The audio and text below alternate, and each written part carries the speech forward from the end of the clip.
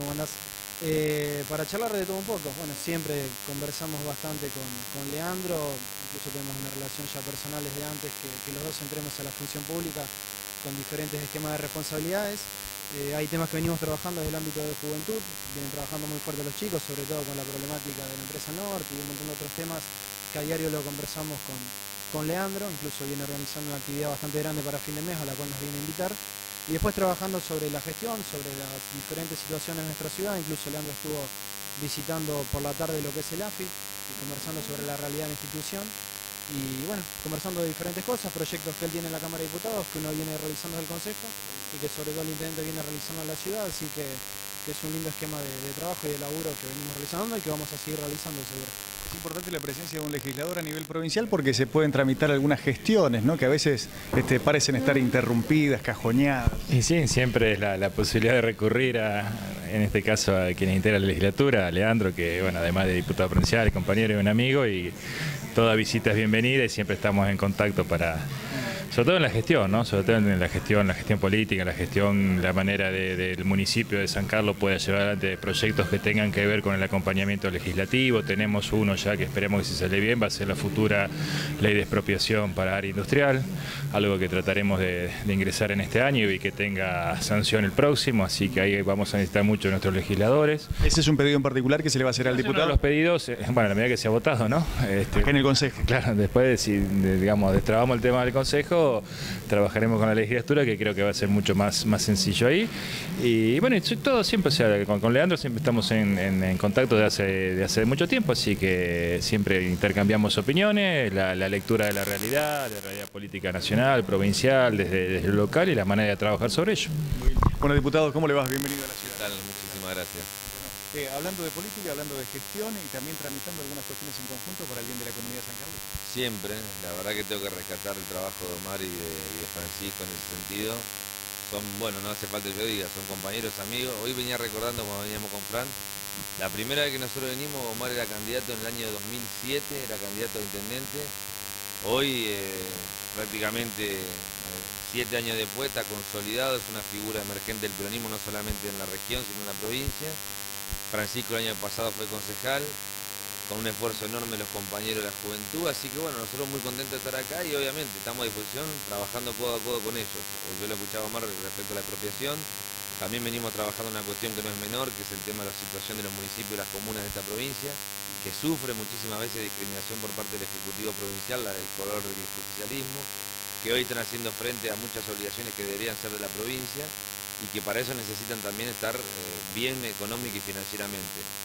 Eh, la semana que viene calculo que vamos a estar votando ya en la legislatura la posibilidad de que las provincias, las municipalidades utilicen el 25% de los gastos corrientes eh, otra vez por año para, para utilizar esto frente a la, a la, necesidad de los municipales, los trabajadores, la relación del bono y demás.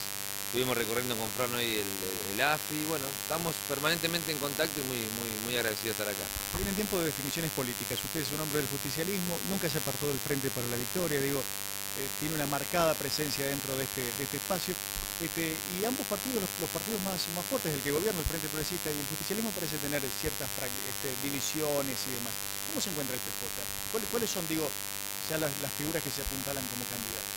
Mire, el PJ se encuentra discutiendo un proceso y tratando de construir un proceso de unidad en donde hay una situación que es real y no hay que negarla. Nosotros salimos de 16 años de construcción política con un fuerte liderazgo de Año Bay y eso se terminó. Se terminó por una cuestión temporal, por una cuestión cronológica y hoy estamos en un proceso de reconstrucción de liderazgos alternativos, nuevos, ninguno exclusivo, ninguno excluyente, que no tienen reflejo por lo menos en la gobernación de la provincia de Santa Fe y eso lleva a que necesitemos un poco el esfuerzo de todos. ¿Qué hay hoy frente a lo que había antes? Bueno, un grupo importante de intendentes que tiene una forma de organizarse políticamente, Omar lo conoce bien, un grupo de presidentes comunales, legisladores, legisladores nacionales y referencias concretas como el caso de Agustín Rossi, como el caso de Mario Peña Bielsa, como el caso de Omar Perotti, que son emergentes de este tiempo y que necesitan entre ellos de alguna manera también generar un marco de acuerdo para que todos nosotros trabajemos con muchísima voluntad y vocación para recuperar la provincia de Santa Fe. En eso está el justicialismo y en terminar de darnos cuenta que los tipos que gobiernan esta provincia, y lo digo con mucho respeto, lo han hecho mucho peor de lo que la sociedad creo que esperaba. Así que tenemos una gran posibilidad de volver a, a gobernar si logramos recuperar un poco de iniciativa y expectativa en la gente. Usted en particular dentro de esos candidatos mencionados, este detrás de quién se encolumna. No, mire, nosotros no nos encolumnamos detrás de nadie. Nosotros trabajamos hace un tiempo con Agustín Rossi, que obviamente manifestó ser candidato a presidente y no va a ser candidato a gobernador. Eh, y la verdad es que lo que esperamos que en la provincia de Santa Fe tomemos una definición como sector y vamos a ver en, ese momento cuál es el candidato o la candidata que de alguna manera expresa para nosotros, humildemente, lo que más se acerca a la defensa de los intereses del proyecto nacional que, gobierna la compañera Cristina y de los intereses de una provincia que se recupere sobre la base de acoplarse a un modelo nacional que creo que le ha dado muchísimo a los santafesinos también. En las últimas semanas aparecieron encuestas que le dan casi un 50% de imagen positiva a la presidenta. No, a mí, no me sorprendió nunca.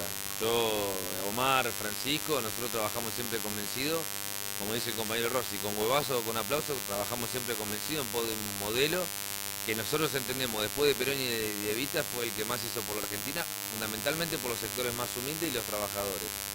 Me parece que la presidenta tiene dos méritos, seguir, seguir teniendo la agenda política en la mano y seguir avanzando en la conquista de derechos, en la reafirmación de la soberanía, en el proceso de desendeudamiento.